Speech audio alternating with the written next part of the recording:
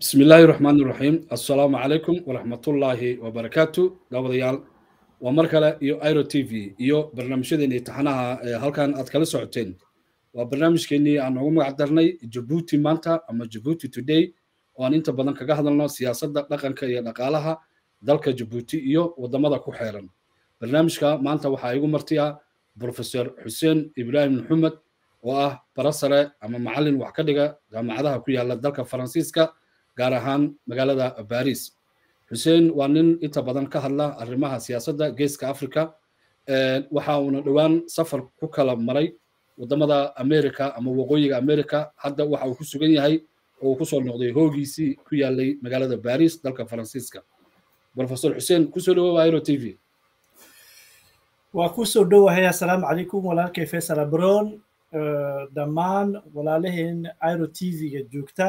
Una maanta waad mahadsan tihiin iro t v waxay noqotay meesha keliya haatee oy ummadda akhtiyaarka leh ummadda maxaa la yahdaa doonaysa inay opiniongooga iska bixiso ay yani ka hadli karto meelaha kaleeta waxay noqotay raadiogii rwanda beriguu genocideku dhacay iska qaylin jirtay radio milcolin bay iska noqotay waxay noqotay raadioyaal qabiilay iska noqotay waxay noqotay meel aa laga hadli karayn amba ruta aa la sheegi yani karayn. Marka iro t v waad mahadsan tihiin waan inii soo dhowahay waayahay profesor soo dhoweyn kadib waadna ku mahadsan tahay gubaabadaada su'aashayda koowaad waxa weeye dhowaan waqooyiga america ayaa tagtay safar baad ku kala bixisay.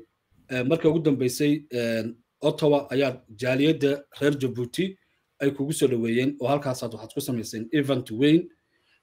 Eventigii ama meesha bandhigii aad ku samayseen beesha ciise ayaa aad oga qayliday oo meelo badan oo jabuuti iyo dibaddaba waxaa laga sameeyey yani aad ba looga hor yimid. Maxay tahay sababta jaaliyaddii ku soo dhoweysay?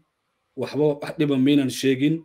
Dadkii kala baahaye walaalahan baa isu yimid arrintaasi maxaa keenay in laga qayliyo oo barnaamijyo badan laga sameeyo? Soo dhowow.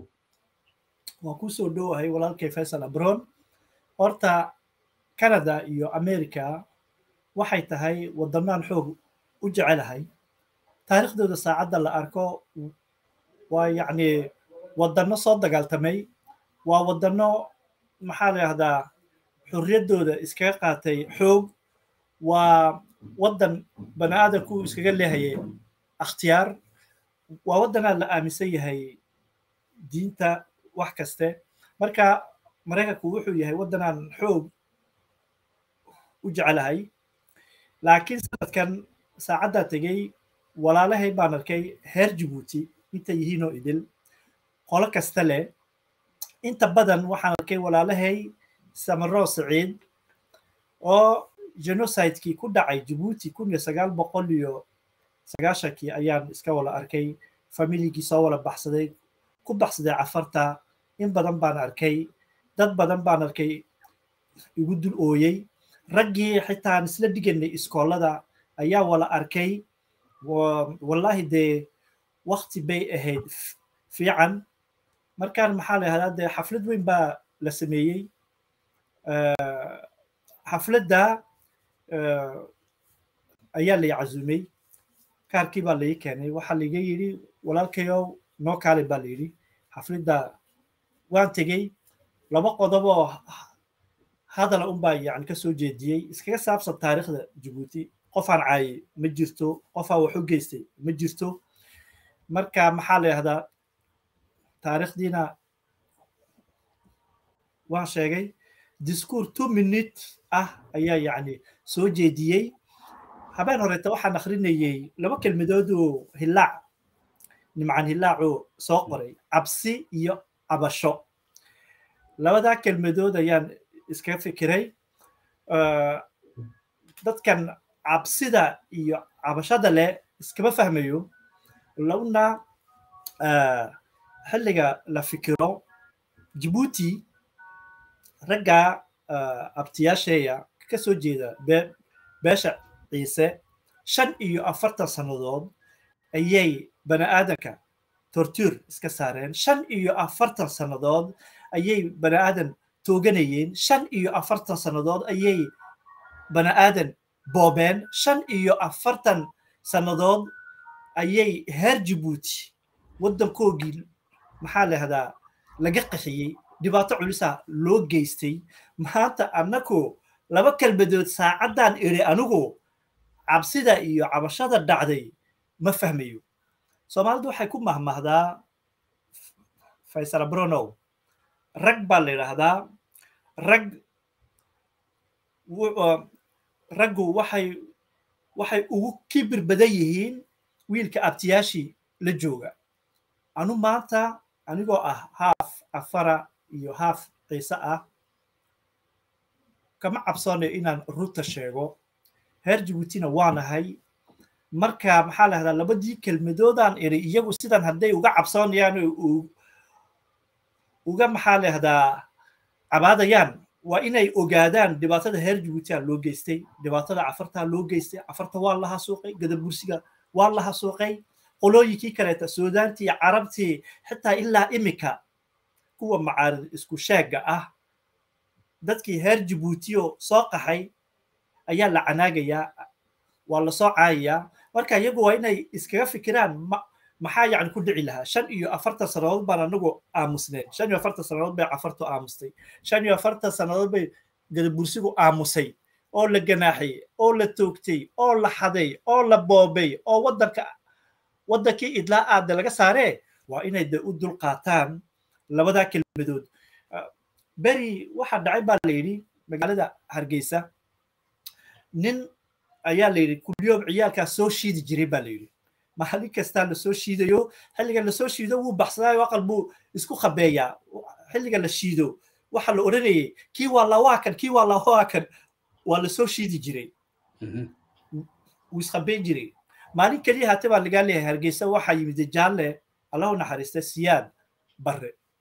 Ciyaalkii baa dee shiiday baa layidhi caradii askartiisiibaa markiiba ummaddii aaday ciyaallo badan baa dhintay ninkii waalida aa lagu ninkii waalida aa lagu sheegay baa soo baxo wuxuu yidhi baa layidhi anu ciyaalkan waxay ishiidi jireen buu yidhi baa layidhi labaatan sannadood siyaad barrena maantuu yimiday hargeyso maanta keliya haataa la shiiday ninka idiloo madaxweynaha waa ka dee toogtay markaa buu yidhi baa layidhi ma anigaa waalan misa ninka idiloo soomaalidu taliska u dhiibtay baa waalan dog sheekadu markaa waxay ku socotaa raggan abtiyaasheeya oo iska xishoonayn oo ummaddii cadubay xitaa kuwooga qaxootiga ah soomaalida isku dhiibaya ammaan baa laga la'yahay haddaan la dabagalo waxaasoo idil baa soo wala khashif mase marka waxa qurux iska badan inaa ammaankii ah lagu dadaalo inay bani aadanka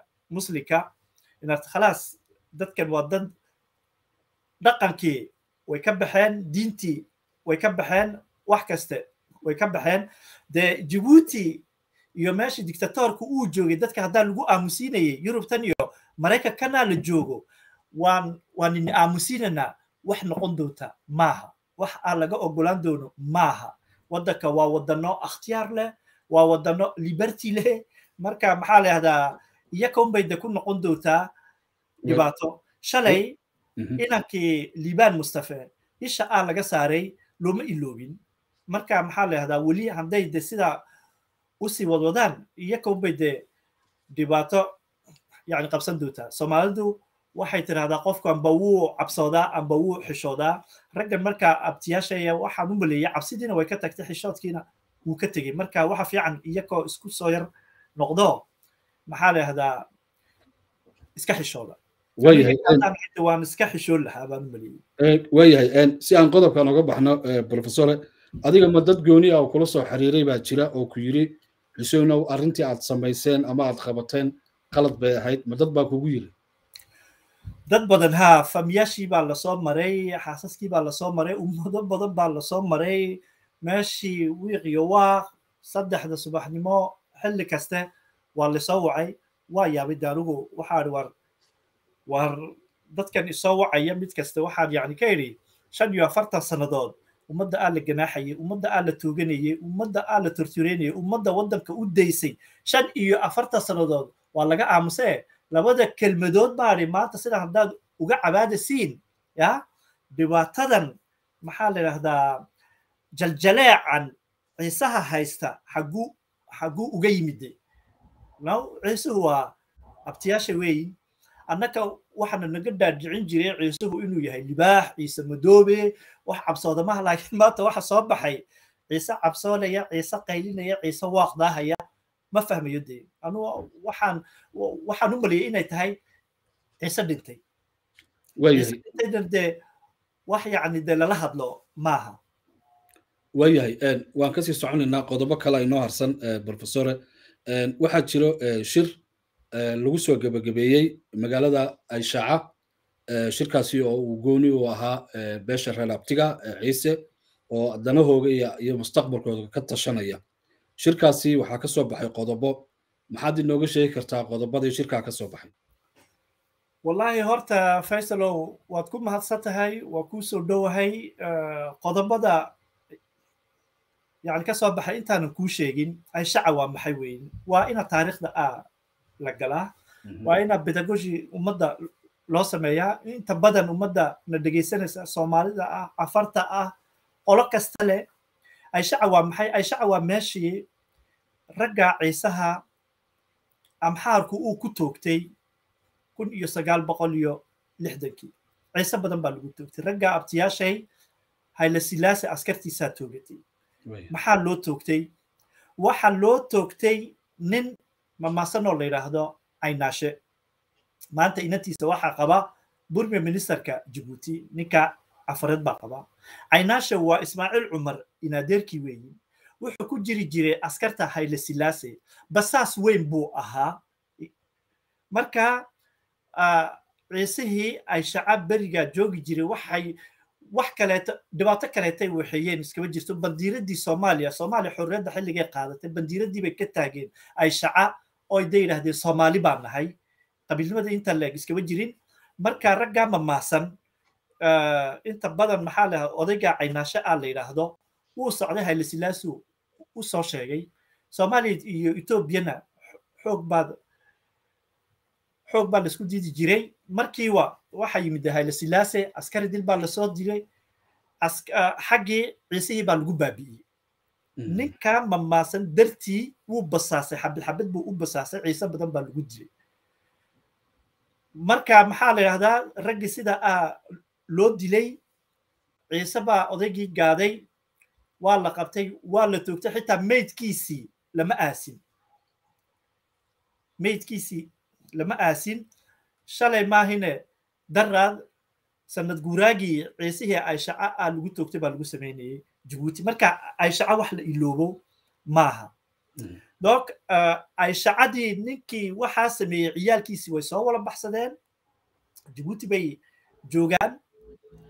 Ciise heer buu gaadhay inuu maxaa leahdaa dadkii sidaa u basaasay odaygaa caynaashe odaygaa ismaaciil cumar geele geele betel waxaasoo midhan inaanan la guursan. Maanta ciyaalkii caynaashe cafar iyo ummadaha kaleeta guursata xagga ciise maxarin baa laga yahay. Tii baa dee socota. Waa meeshii ciisaha ah lagu hasuuqay ayaa maanta fadhigan lagu sameeyey si uu u hasuuqo ciisahan. Una abtiyaashay maanta wuxuu u reebay iskama jirto dheel xun buu u dhigay dadkoodil buu ku wala diray gadabuursi wuu ku diray cafar wuu ku diray. Maanta ay shacaytu isku soo wala ururiyey ayuu yidhi maxaa la yidhaahdaa waa qodobka yani ka soo baxay waxay tahay waa inay soomaalidu gurguradu ummaddoodi gadabursigu isaaqu na wala caawiyaan aanana siiyo rag iyo hub si aan iskaga daafacno bay leeyihiin afarta. Waxaade waa wax yaaba. Afar iyo ciisuhu waxay yihiin wiil iyo abti. Gadabursi iyo cafartu waxay yihiin wiil iyo abti. Gadabursigu iyo ciisuhu waxay yihiin wiil iyo abti baleeg ismaaciil cumar dhibaatadu iska wado. Marka anigu gadabursina waa la hadlayaa soomaalida kaleeto idilna xitaa ogaadeen gurgura ummaddo idil baa wala aragtay. Raggan ismaaciil cumar iyo raggan ciisaha waa dad maxaa la yidhahdaa ku doodaya waddanno aynan haysan. Jabuuti kuma haystaan waddan. Way soo wala qaxeen. Seventy seven baa la yimiday. Runtaa laysku sheegaa dhul meel ay haystaan iskama jirto waa bob weeye shalay soomaaliya xilligay baaba'day ninka iftiinaa la yidhaahdo abtiyaashii buu ku duulay dhulka gadabursi buu doonayey xaggaabaa lagu soo wala karbaashay.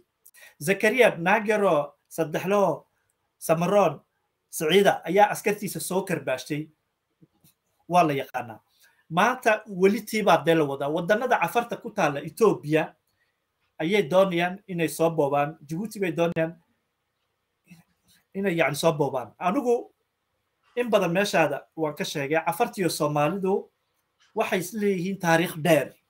Walaala yihiin. Waan ka sheekeeyey burhanbe xaaji diide. Marka maxaa lahdaa anigu walaalahay soomaalida dhammaantood intay yihiin anigoonan u kala saarin u kala saarsaarin qoloqolo waxaan leenahay dadka musiibadda ha soo raacina. Cafartu isku dhil ma tiidina. Waa dad muslimiina waa dad walaalihiina waa dad dhibaato inii geystay maaha. Waxaa tihiin wiiliyo abti. Marka maxaa la yidhahdaa dadkan maalintay maxaa la yidhaahdaa u bahnayn? Maalintay cafartu soo karbaashto waa dadka noqonaya soomaali. Way qayliyaan. Way baayay na soo gaaraay waxaan noqonay waxaan nahay soomaali. Maalinta kaleetana dagaal uunan. Yani iska jirinna waxay noqdaan ciise oo waxay ku alufayaan city iyo meelo yani iska jir jirin marka waxaan leeyahay ragga abtiyaashay waa ragga sidaasa weeyin. Soomaalidu waxay tiraahdaa walaalkaa markhaatiga kufur magtana la bixi baa la yidhahdaa anu maanta shaqadanaan waxaynayo shaqo aan abtiyaashay ka soo horjeedo maaha. Waan caawinayaa. Una cafar weyn hadday u kacdo. Horta cafariya ciise cafariya ciisadaa baa lahay waxa waa sheeko uu noo keenay gumaysi cafari uma dhaqmato ciise cafarta iyo soomaalida laysku keenaa. Cafar weyn. Maanta ciise hadday u kacdo shan mirir baa la baabi'inaya. Oo gadamaytu waa lagu baabiye caddaytu waa lagu baabiye cundhafacuna maxaa la yahdaa waa kana la soo maageeray.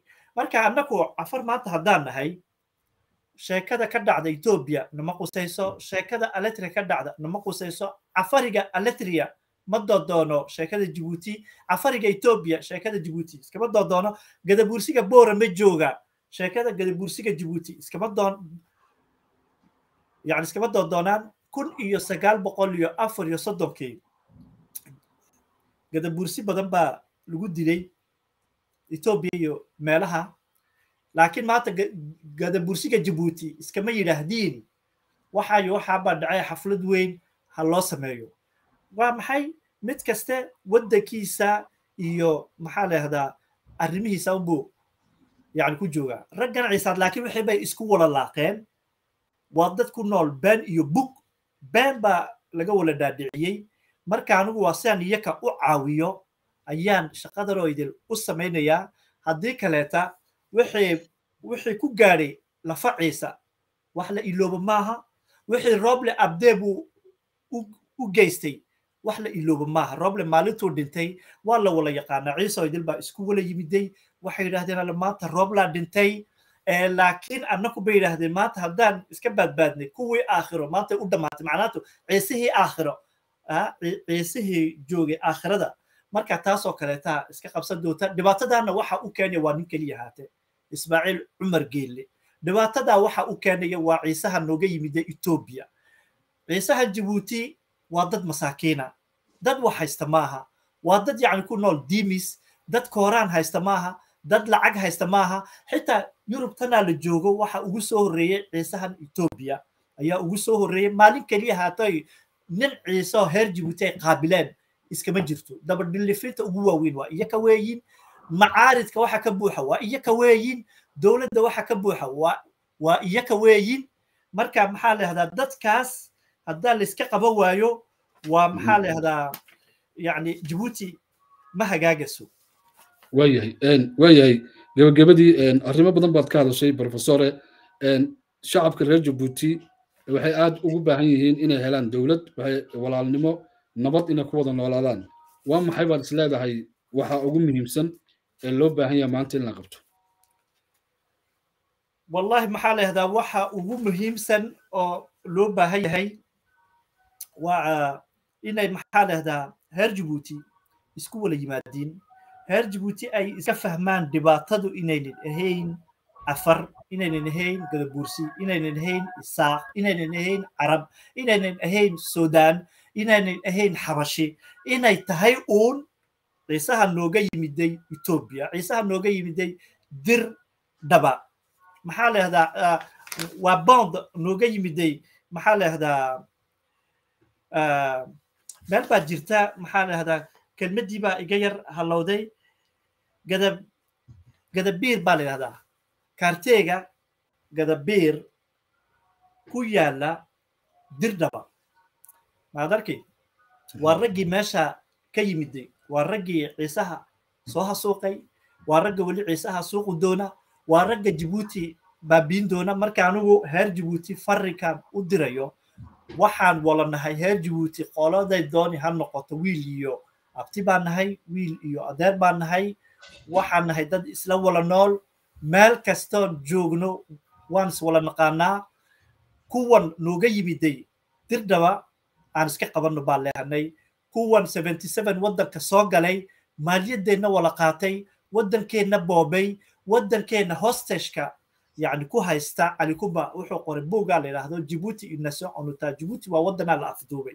Waxaana afduubay ciisahaa nooga yimiday dirdhaba iyo ciisahaa nooga yimiday soomaaliya. Dadka haddaan iska saaro reer jibuuti way wala hagaagi doonaan laakiin dadka intay nagu dhex jiraan wax hagaagaya ma jirto waayahay gebagabadii marka waxaa la filayaa dhowaan labada kun iyo lix iyo labaatanka ayuu yiri madaxweyne ismaaciil xilka waan ka degayaa.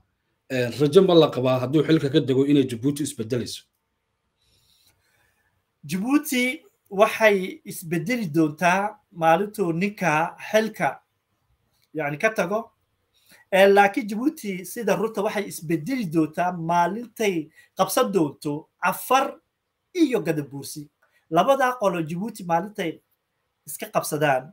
Jabuuti maalintaabay hagaagi. Jabuuti yani development maalintaabay gaadi una afartan iyo gadabuursigu waa dad mutacalimiina. Waa dad horumar gaadhay waa dad jaamiciya.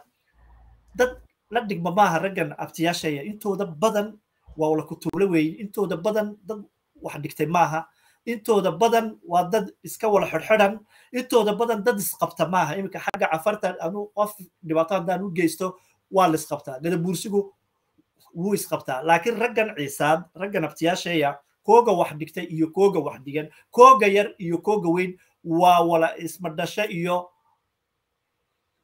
madhaantadii weyn dad isqabta maaha. Marka jabuuti waxa baadbaadin doona gadabuursi iyo cafar anigu social media in badan iskama dhegeystay maalintii horeeta nin aa la yidhaahdo amare oo holland iyo meelaha jooga. Inta badan iskama dhegeysto maalin baan dhegeystay kiyo cafarta caayaan iska dhegeystay. Waan ka yaabay odayga weynoo guud iyo gudo caddaato sidaa cafarta u caaya. Daraadna haddana bahalkayt uu iska waxeeyo wuxuu yihi wallaahi buu ihi magaaladaa jibuuti buu ihi qolo kaleeto cafar ahayn. Hadday joogi lahayd buu ihi ciise wuu baabi'i lahaa. Taliskana intaayo intaa muu joogeen. Anigu waxaan ku biirinayaa maanta ciise taliska jibuuti may joogeen gadabuursi iyo cafari haddaynan joogin. Waddankana waxaa hagaajin karaya gadabuursi iyo cafarta ilaahay taliska maalintuu naga farxiyo labadaa qolo meesha xilligay qabsato qolooyinka kaleeto idili naartay jaamac zaylici meesha xilligu haysan jiray ma jiri jirin buuq. Isaaquu iska noolaa carabi way iska nooleed cafari way iska nooleed xabashidu way noolaayeen yahuudda idil baa nooleed dadku iskamay lahayn buuq.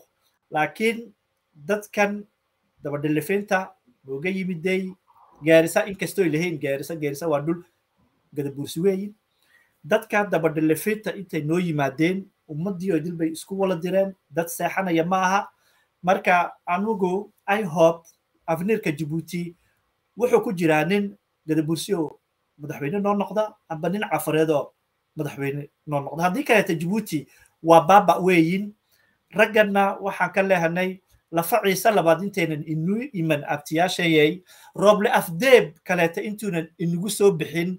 Intay goori goor tahay ismaaciil cumar ha dhegaysanina raggan dirdhaba iniga yimiday ha dhegaysanina maxaa la isbaadbaadiya aad iyo aad baad u mahadsan tahay inta ayaan maanta ku soo afmeeraynaa barnaamijkeena jabuuti maanta uu marti noogu ahaa profesor xuseen ibrahim maxamed profesore aad baad u mahadsan tahay dhammaan dadka ku jiro onlineka iyo dadka soo geli doonana waanu salaamaynaa. Profesore mar kale waxaan ku leenahay